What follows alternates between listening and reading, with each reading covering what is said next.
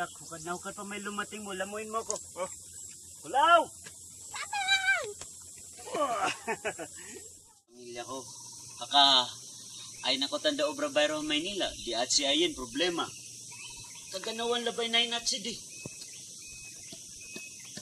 Muhammad, hante, tumipon sa sing tinawo, kag gubaton ang tampalasan.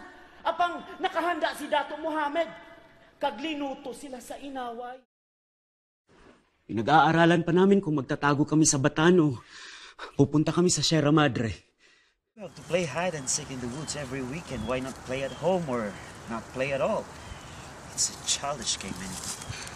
I don't know. Because it's fun. Sa kabus nga bukton ang asawa sa akong amahan. Iyang gibudhian sa way ko kaluoy ang akong amahan, nga niadtong higayuna nga nailaid sa balatian sa iyang pagdagit sa mahal nga tambayayong sa kinabuhi ni tatay.